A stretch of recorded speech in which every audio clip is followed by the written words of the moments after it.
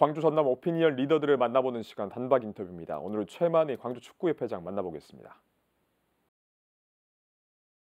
어, 어릴 적 제가 이 광주에서 태어나서 그 고등학교까지 축구를 했던 내 고향이 이렇게 그 40년이 지난 이후에 여기 와서 우리 축구협회 일을 책임지는 사람으로서 이런 데에서 우리 축구 광주 지역에 있는 축구인들에게 감사드리고 이를 통해서 우리가 광주 축구협회 회장이 앞으로 해야 될 일이 뭔가 이런 거를 생각해 볼 때 어, 제가 볼 때는 첫 번째가 어, 축구 인프라를 좀 더 기존에 있던 것보다 더 활성화를 시켜가야 되겠다는 생각하고 또 그러기 위해서는 어린 유소년들이 함께 같이 공동체로서의 같이 축구를 즐기면 그게 더 큰 인프라가 될 수 있고 또 이제 세 번째로는 어, 생활체육과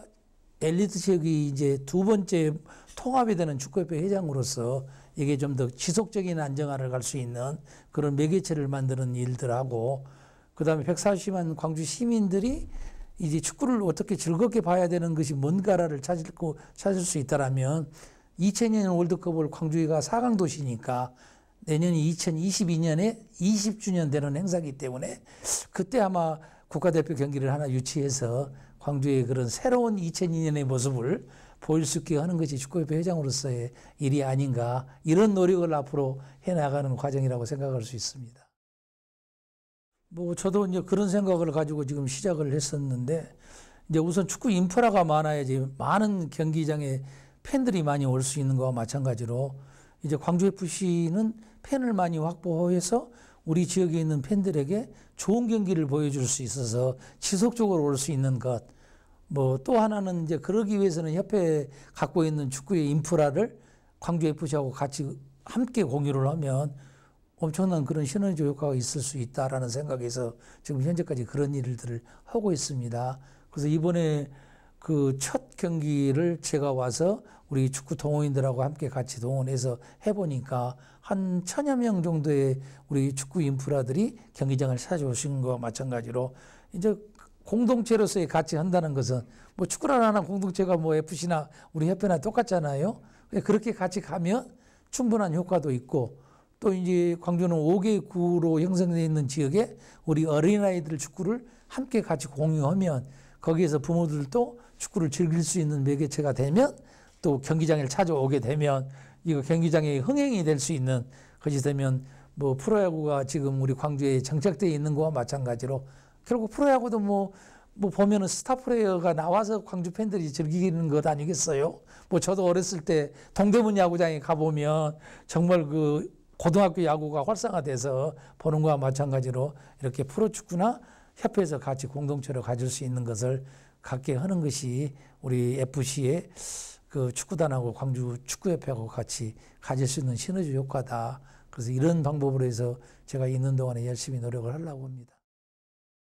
저도 지금 오랫동안 있다가 와서 보니까 축구 동호인들이 그 하고 있는 그런 오가네이션은 조직은 너무 잘 돼 있더라고요. 근데 보니까는 엘리트 지금 현재 축구 전문 체육을 하는 것은 뭐 예전보다는 더 많은 후퇴가 되어 있더라고요.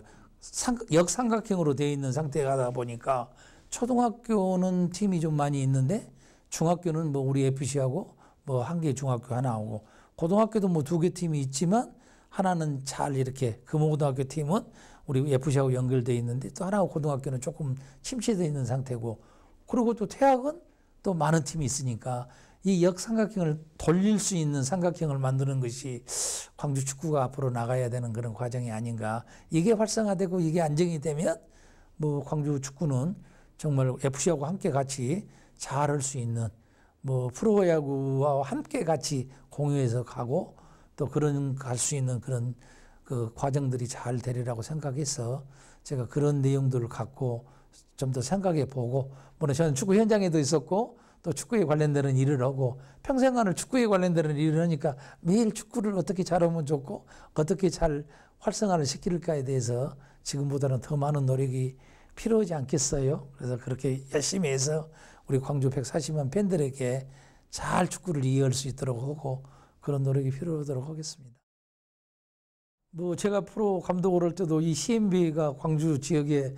그 시민들에게 우리 축구를 알리는 좋은 기회가 돼서 항상 감사하게 생각하고 항상 고맙다는 생각을 갖고 있는데 이번에도 사실 이 프로축구 중계를 하는 CMB가 또 우리 지역에 활성화를 시켜주지 않으면은 안 되겠다는 생각에도 저도 많은 관심이 있었는데 지속적으로 그런 좋은 그 화면을 보여서 우리 팬들이 경기장에 오지 않더라도 뭐 TV를 통해서 볼 수 있었던 것에 대해서 CMB 시청자 여러분들에게 너무너무 감사하게 생각하고 또 이를 계기로 우리 그 FC 축구나 우리 제가 광주 축구협회가 팬들에게 정말 기대에 어긋나지 않도록 할 수 있는 그런 이벤트를 잘해서 흥미로운 TV 시청이 될 수 있도록 그런 노력을 할 수 있도록 열심히 노력하겠습니다. 뭐